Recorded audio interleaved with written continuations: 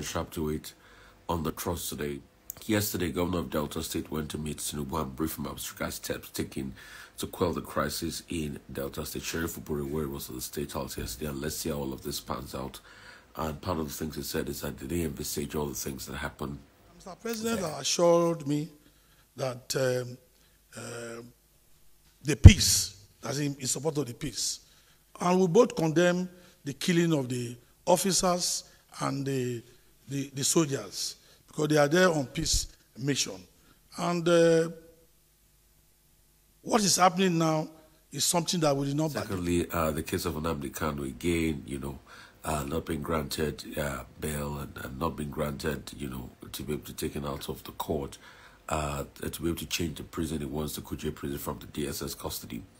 But one thing that was instructive that he said was that he said if he's given the chance, if he comes out in two minutes, he will solve the insecurity crisis in the southeast.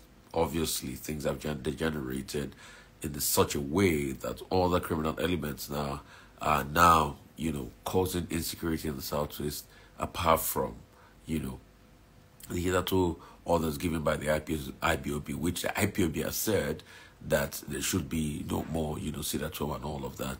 So uh, that's that. And they're doing it because I'm I'm I'm I'm, I'm in DSS. That's why if I said no idiots can try this rubbish, and they know it very well. They know it very well. And I suspect that some people in government are complicit.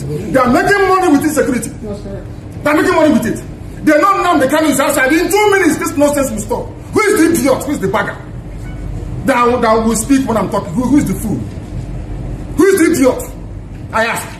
Secondly, uh, there are a lot of also story making the rounds now that the, the mining uh, minister, uh, Mr. Alake, has said that if uh, mining companies are going to, uh, if mining companies are going to come to Nigeria and get mining license, they must also be able to set up, you know, refining locally, and that's what we've always always calling for. So kudos to the minister. And as regards uh, sports, we also have a story making the rounds about Finidi George and.